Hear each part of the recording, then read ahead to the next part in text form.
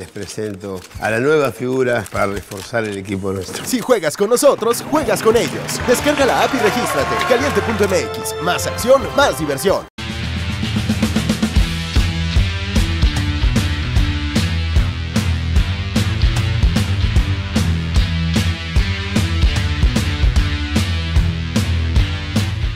¿Qué tal amigos de Zona Fuchi? Bienvenidos a un nuevo video con las predicciones para la jornada número 18. Sí, 18 de este Apertura 2019, la penúltima jornada.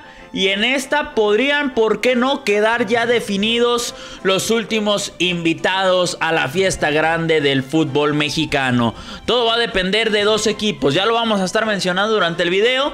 Te invito a que sigas participando, a que sigas dejando tus pronósticos acá abajo en los comentarios y también te invito a que te registres en caliente.mx y obtengas 400 pesos gratis para que realices tu primera apuesta. Descarga ahora la aplicación desde el enlace que aparece acá abajo en la descripción.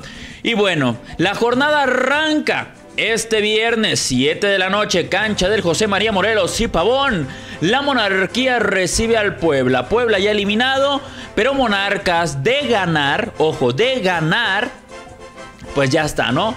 Amarraría su boleto a los cuartos de final y pues por ende estaría dejando más difícil y más apretada la pelea. Todo parece indicar que así va a ser.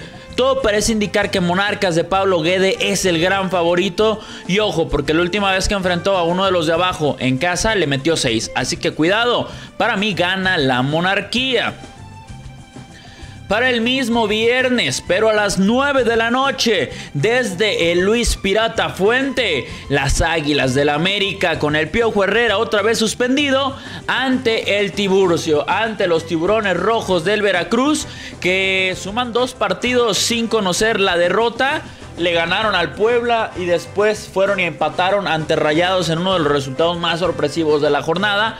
Ahora reciben al AME que históricamente son partidos buenos. Hay mucha rivalidad contra el América allá en el puerto. La afición jarocha los odia con odio jarocho, literalmente. Y bueno, vamos a ver al América que se está complicando un poquito sus cosas. Es importante que gane para que terminen los primeros puestos y cierre de local. Yo creo que el América sí va a ganar. Sufridón, pero gana allá en el puerto a las mismas 9 de la noche, pero en la frontera. Los Choros Quinkles de Tijuana reciben a la pandilla, a los Rayados del Monterrey. Este partido es importantísimo porque son dos de los que, que están peleando los últimos boletos y pues obviamente se van a quitar puntos y en caso de que gane Tijuana, pues estaría ya prácticamente clasificado y dejando eliminados a Atlas, a Cruz Azul, a San Luis, a Chivas y al mismísimo Rayados prácticamente. Entonces es muy importante este partido, hay que seguirlo. Yo veo difícil que gane Tijuana, también veo difícil que gane Monterrey, por lo cual me parece que será un empate en la cancha del Estadio Caliente. Para el sabadito, 5 de la tarde, cancha del Alfonso Lastras. Puerta cerrada este partido. El Atlético de San Luis recibe a los Hidrorrayos que buscan pues mantenerse en ese segundo lugar de la tabla general después de haber caído en casa de forma pues dramática ante el Pachuca y ahora enfrentan un equipo de los de abajo.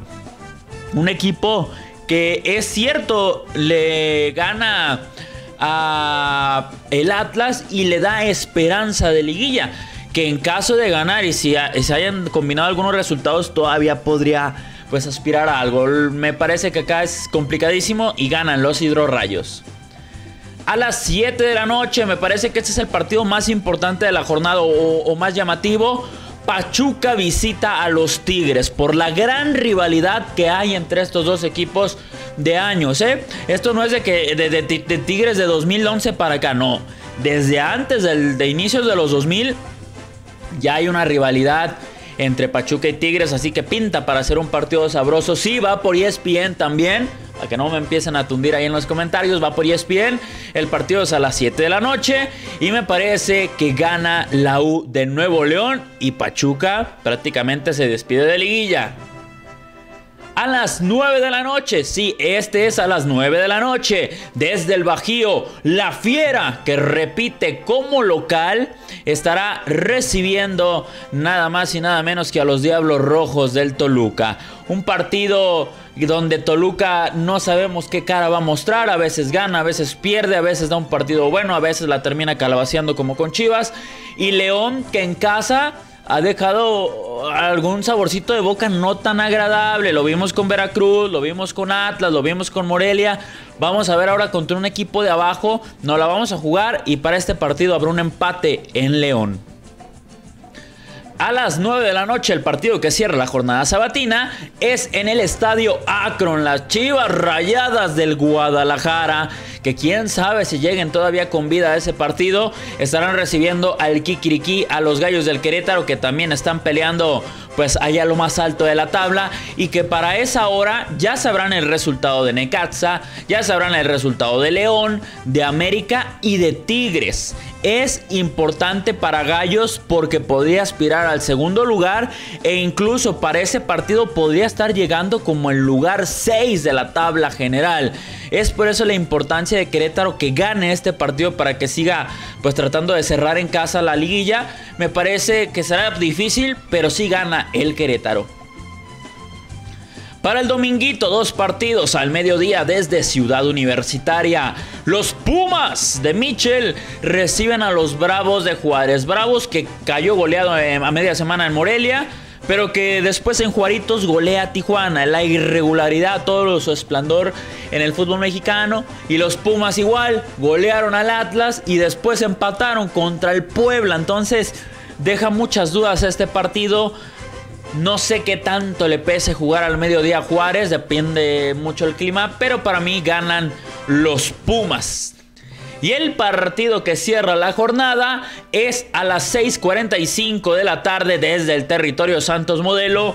El superlíder, que pase lo que pase en la jornada, seguirá siendo superlíder recibe a la máquina celeste del Cruz Azul, que vamos a ver también si llega o no con esperanzas de liguilla para ese partido. Pero yo creo que acá no hay broncas. Gana el Santos sin ningún problema allá en el territorio Santos Modelo. Así que pues esta, esta es la jornada número 18. Insisto, se pueden definir los lugares a liguilla en caso que Morelia y Tijuana ganasen. Igual Pumas todavía podría seguir con la velita encendida si llega a ganar. Y pues entre esos tres estaría definiendo el último boleto para la fiesta grande del fútbol mexicano. Mi nombre es Eddie Rodríguez, ya saben, suscríbanse al canal, activen la campanita y nos vemos o nos escuchamos en un próximo video.